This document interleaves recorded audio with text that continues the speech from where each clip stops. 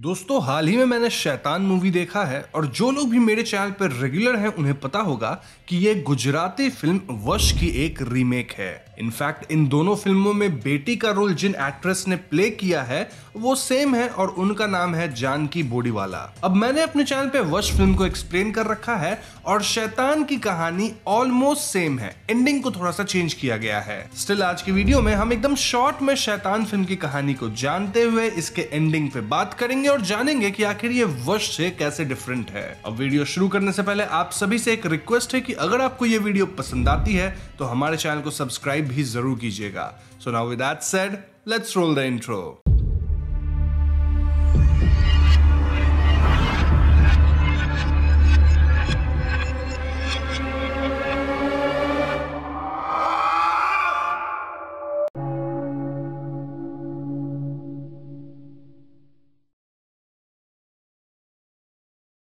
तो फ़िल्म की शुरुआत में हमें एक मरा हुआ चूहा दिखाया जाता है और एक अनजान आदमी पॉलिथीन बैग में इस चूहे को रख लेता है। फिर फ़िल्म की इंट्रो आती है और इसके बाद हम एक फैमिली को देख पाते हैं जिसमें चार लोग हैं। यहाँ पिता का नाम कबीर है, माँ का नाम ज्योति, बड़ी बेटी का नाम जानवी और बेटे का नाम ध्रुव है। कार में जानवी अपने पिता से कहती है कि वो अपनी फ्रेंड्स के साथ लद्दाख ट्रिप पे जाना चाहती है and Kabir was not sure कि वो जानवी को इस ट्रिप के लिए अलाउ करे। लेकिन जानवी एकदम जिद करने लग गई थी और ऐसे में कबीर फाइनली मान जाता है। लेकिन कबीर के कुछ कंडीशंस थे लाइक उन्हें जानवी के सभी फ्रेंड्स का नाम और फ़ोन नंबर चाहिए था।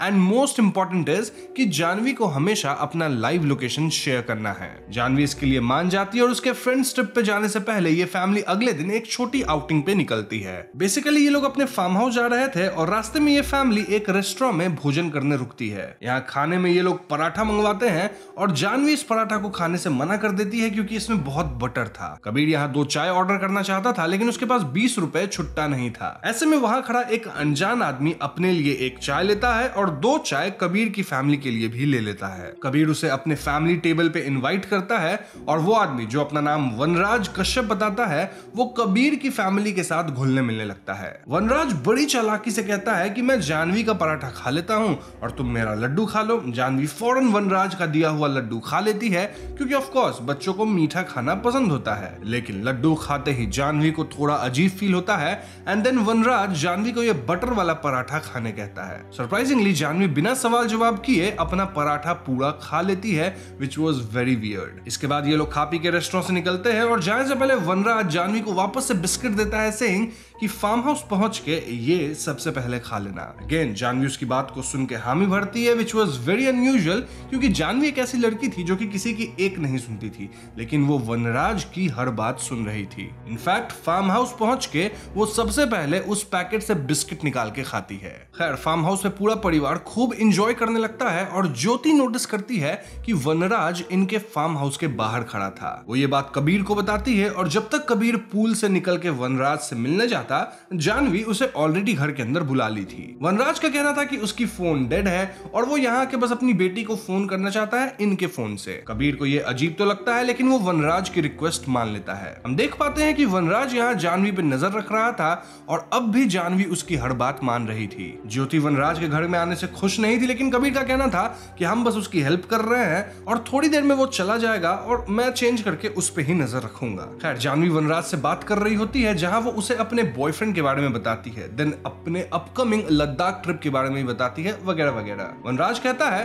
कि तुम लद्दाख ट्रिप पे नहीं जा पाओगे क्योंकि तुम्हें तो मेरे साथ चलना है। वो जानवी को इस प्रस्ताव पे ओके बोलने कह रहा था और जानवी भी फॉर सम रीजन ओके बोलने के लिए कंपेल हो रही थी।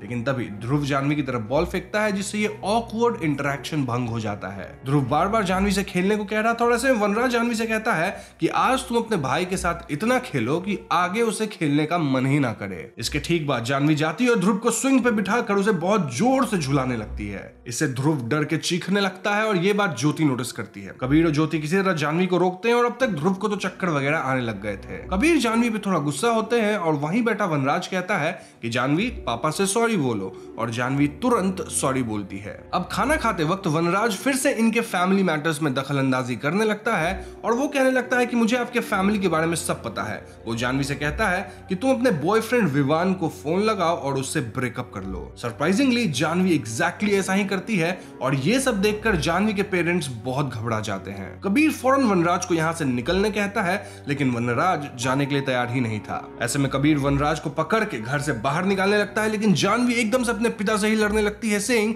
कि अंकल कहीं नहीं जाएँगे। वो अपने पिता को धक्का देने लगती है और जानवी का बर्ताव एकदम पागलों जैसा था। जानवी कहने लगती है कि अंकल जो भी कहेंगे, वो करना मेरे लिए ज़रूरी है।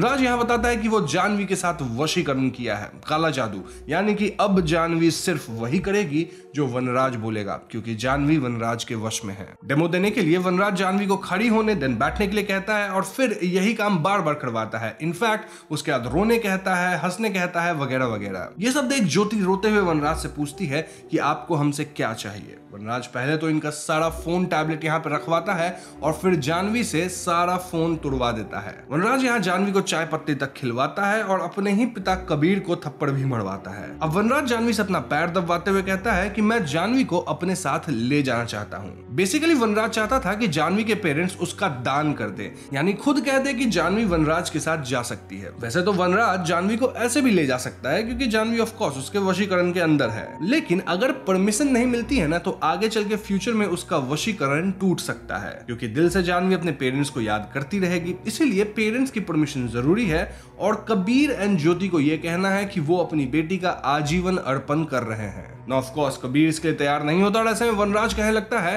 कि जब कोई मेरे सामने तरपता है और गिड़गिड़ाता है तो मुझे बहुत अच्छा लगता है। ऐसा कह के वनराज जानवी को एक लात मारता है और इसके रिएक्शन में कबीर वनराज को पीटने लग जाता है। वनराज जानवी से ध्रुव का सर फोड़ देने कहता है और जानवी ऐसा ही करती है। दूसरी तरफ़ हम पुलिस को यहाँ आते देखते हैं, क्योंकि ज्योति बार बार पुलिस हेल्पलाइन पे मिस्ड कॉल्स मार रही थी। पुलिस घर के अंदर आती है और यहाँ हम कबीर, ज्योति और वनराज को ऐसे बिहेव करते देखते हैं, मानो ये सब फैमिली एंड फ्रेंड्स हैं। अब ऐसा इसलिए क्योंकि वनराज जानवी को एक गैस सिलेंडर के ऊपर गैस ओपन करके बैठा दिया था, साथ ही उसके हाथ में माचिस थी। यानी अगर कबीर या ज्योति अपना मुँह खोलते तो जानवी गैस में आग लगा देती, जिससे वो तो कम से कम मारी ही जाती और बाकी लोग को भी क्षति होता है, क्योंकि गैस तो एक्सप्लोड होता है। ये लोग पुलिस को किसी तरह समझा बुझा के यहाँ से भेज देते हैं, जिसके बाद वनराज और भी भड़कता है। कबीर यहाँ वनराज को घर और पैसा भी ऑफ़र करता है, लेकिन वनराज कबीर के सामने ही पैसा जला देता है। यानी कि इट वॉज़ क्लियर कि वनराज को जानवी ही चाहिए थी। वनराज कहता है कि धन, पाना, हवस और लालच, ये सब बेकार की चीज़ें मेरे अंदर नहीं है, क्योंकि मैं इंसान नहीं हूँ, बल्कि मैं इंसानों से बहुत आगे बढ़ चुका हूँ। ये उमरा की रात मेरे लिए आई है। उमरा परछाई का वो काला हिस्सा है जहाँ रोशनी की एक किरण तक नहीं पहुँचती। इसके बाद वनराज संस्कृत में कुछ चीज़ें बोलता है, जो इस तरफ़ इशारा कर रही थी कि कुछ ही घंटों बाद वो एकदम सुप्रीम पावर होगा। वो अहम ब्रह्मास्मि भी कहता है। ये सारी चीज़ें ओरिजिनल फ़िल्म में नहीं थी, बट स्टिल आगे मैं कहानी बताता हूँ। सो इसके बाद वनराज जानवी से कई चीज़ें करवाता है लाइक खुद को थप्पड़ मरवाना, बिना रुके डांस करना।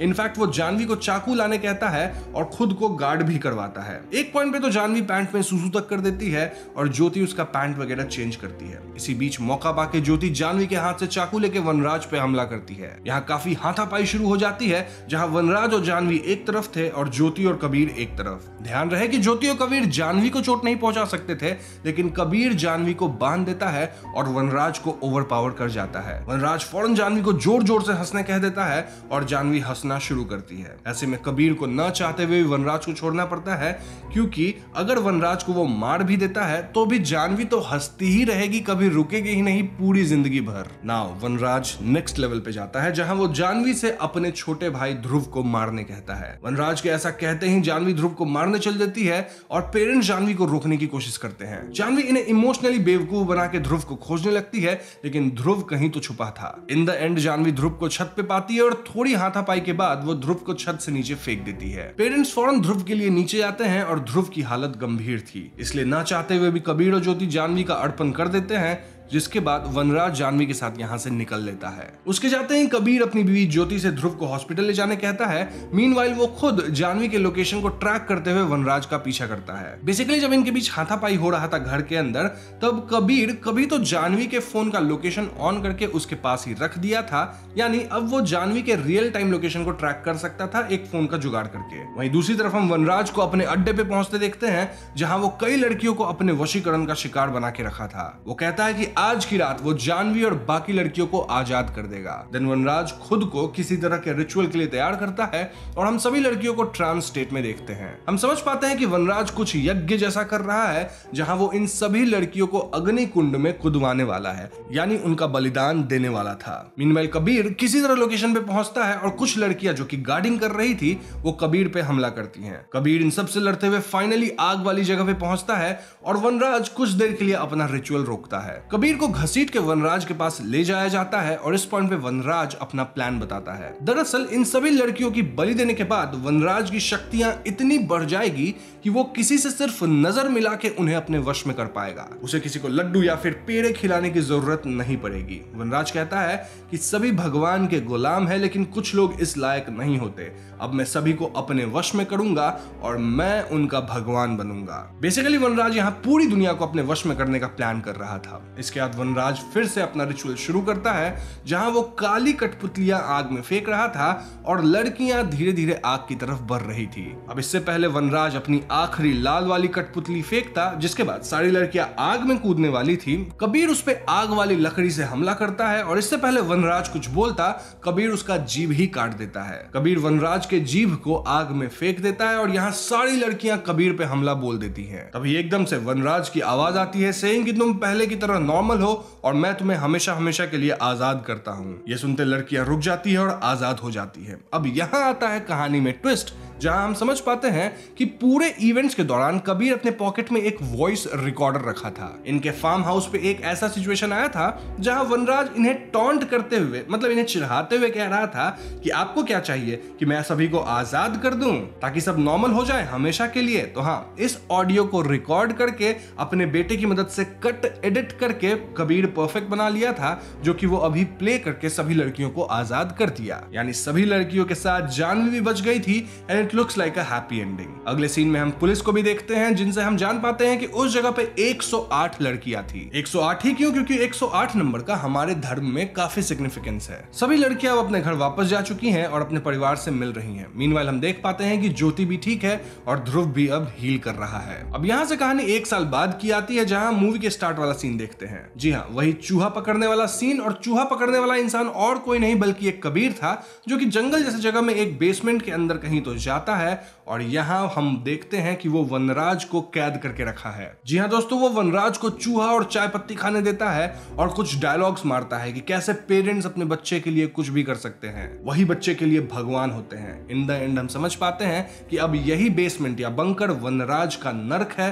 और कबीर उसका भगवान। या फिर हम कबीर को शैतान भी कह सकते हैं। और इसी पॉइंट पे फ़िल्म खत्म हो जाती है। तो दोस्तों, ये थी शैतान फ़िल्म की कहानी और यहाँ वश फ़िल्म से थोड़ी बहुत चीज़ें बदली गई हैं। सबसे पहली बात तो ये कि वश फ़िल्म में कोई पुलिस नहीं आई थी मूवी के बीच में। देन एंडिंग तो पूरा ही बदल दिया गया है। आई I मीन mean, वश की एंडिंग काफ़ी दुखद और डार्क थी। वहाँ पिता अपनी बेटी के कान में कैंची डाल देता है ताकि वो विलन की आवाज़ ना सुन सके। साथ ही उसकी बेटी का वशीकरण कभी खत्म ही नहीं होता और वो फ्यूचर में भी मेंटली अनस्टेबल ही रहती है। बात करें बीवी और बेटे की तो उनका भी हॉस्पिटल जाते वक्त एक्सीडेंट हो जाता है और वो भी मारे जाते हैं। बेसिकली वहाँ जो मेन कैरेक्टर था जो कि यहाँ पे कबीर प्ले किया है वो एंड तक सब कुछ हार गया था और वो पूरी तरह टूट चुका था। और इसलिए वो वहाँ के विलन को अपने साथ बंदी बना के रखा था, उसे चूहा और चाय पत्ती खाने देता था। लेकिन यहाँ शैतान में एंडिंग काफ़ी हैप्पी सी दी गई है, जहाँ सब लोग बच गए। कैसे? वनराज की रिकॉर्डेड वॉइस की मदद से, जो कि मुझे थोड़ा सा अजीब लगा, क्योंकि आज तो एआई का समय है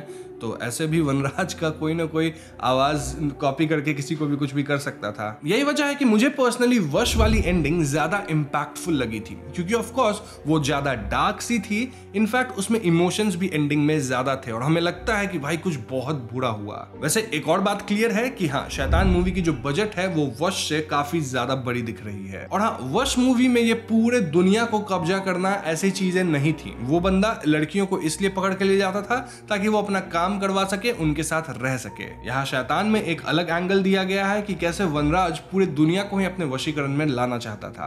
तो हाँ ये भी एक डिफरेंस है। तो आप मुझे बताओ, आपको वश की कहानी ज़्यादा अच्छी लगी थी या फिर शैतान की? दोनों की एक्सप्लेनेशन चैनल पे है, आप चाहे तो दोनों को जाके देख सकते हैं। वैसे आपकी ओपिनियन मेरे से अलग हो सकती है तो आप अपनी ओपिनियंस कमेंट में ज़रूर बताइएगा। तो बस आज की वीडियो में इतना ही। वीडियो पसंद आई हो तो लाइक और शेयर कीजिएगा। साथ ही चैनल पर नए हैं तो हमें सब्सक्राइब भी कीजिएगा।